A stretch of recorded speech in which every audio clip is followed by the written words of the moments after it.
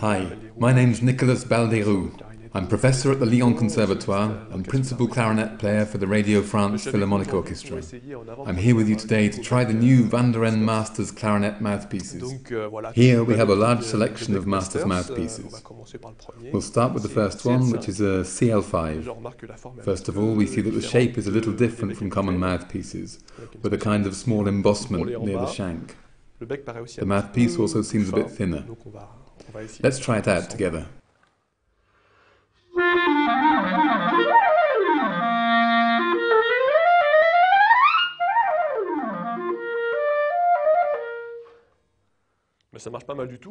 Well, it works pretty well.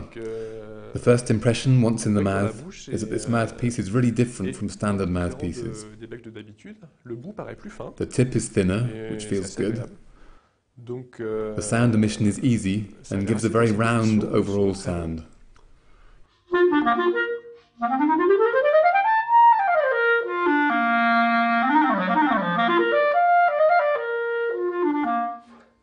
For me, the most important thing when trying a mouthpiece is the sound emission and how easy it is to play staccato. And here, this is definitely the case. We have a good balance between a round and a warm sound, and an easy sound emission, a precise staccato, which is not easy to find with all mouthpieces.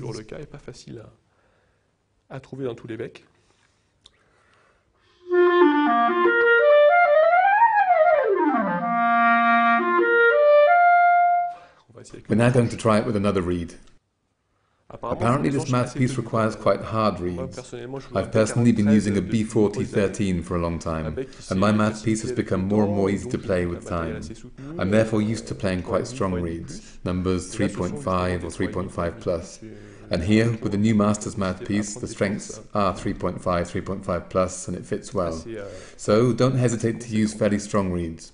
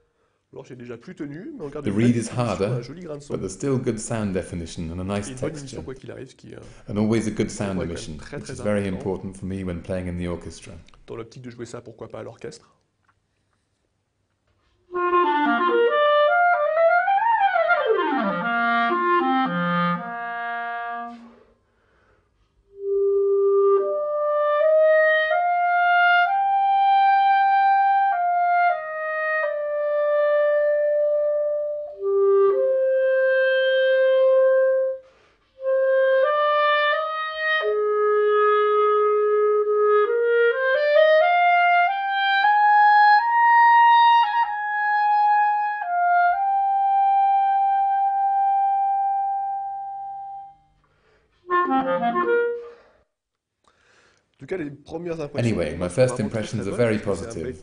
This is a well-centered mouthpiece, really homogeneous, good projection, and a nice overall presence.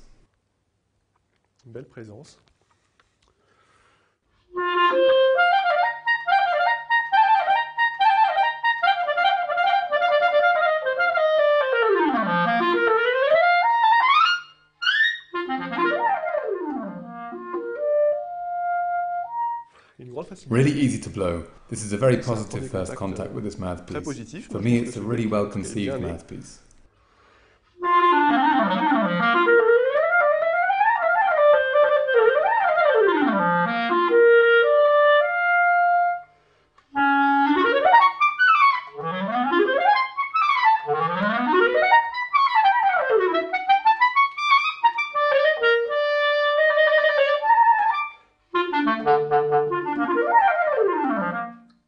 To continue, here's another mouthpiece from the same family, called the CL4, that we're going to discover now.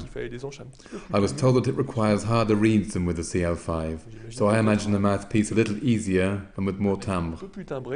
Let's take a 3.5 plus V12 Vandoren reed.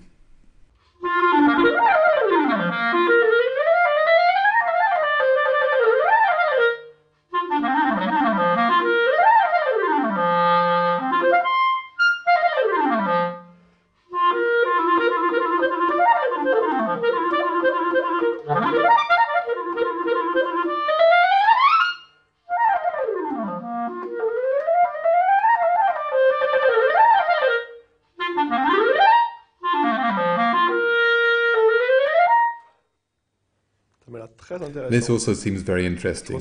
It feels a bit like comparing a B40 and a B45.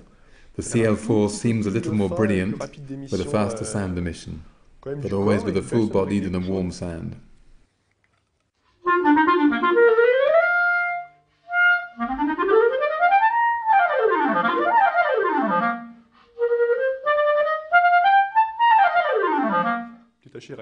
Playing staccato is quick and easy, no problem there. Okay, here we are. I think that these two masters' mouthpieces are very promising, very well conceived. Now I have to confirm all these initial feelings in real conditions. I'm very excited to play them in chamber music, to play them in the orchestra, or as a soloist. I find they all have the qualities we can expect from a good mouthpiece. The staccato, the emission, the round sound. Regarding intonation, this is also very good. They don't go too high like some other mouthpieces. They stay really in tune. Also, an important quality is that they are homogeneous in all the registers.